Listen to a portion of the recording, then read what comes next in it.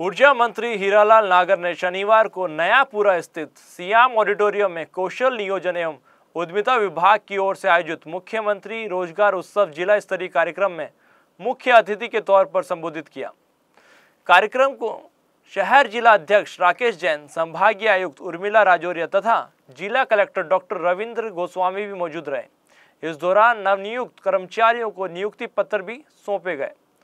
समारोह में ऊर्जा मंत्री हीरालाल नागर ने कहा कि हम सभी को जिम्मेदार अधिकारी और कर्मचारी बनकर अपनी भूमिका निभानी चाहिए। प्रधानमंत्री नरेंद्र मोदी और भजनलाल शर्मा ने विकसित भारत और सशक्त राजस्थान का स्वप्न देखा है, जिसे साकार रूप में देने में युवा कर्मचारियों की भूमिका और सहयोग बहुत अधिक अपेक्षित है।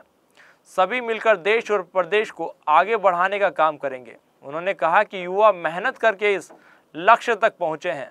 नवनियुक्त कर्मचारियों से ये अपेक्षा की जाती है कि सिस्टम के अंतर्गत जिन कमियों और उन्हें आज दिन तक देखा है, अब सिस्टम के अंदर जाने के बाद उन कमियों को दूर करेंगे। अपनी नई भूमिका को ईमानदारी और निष्ठापूर्वक आगे बढ़ाएँगे।